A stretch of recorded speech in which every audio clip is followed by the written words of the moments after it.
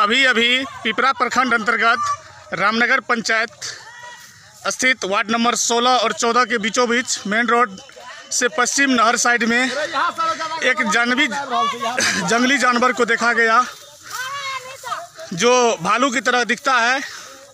Height तीन feet, साढ़े तीन फीट के आसपास है और चौड़ाई लंबाई जो है अभी चार पाँच फीट के आसपास है।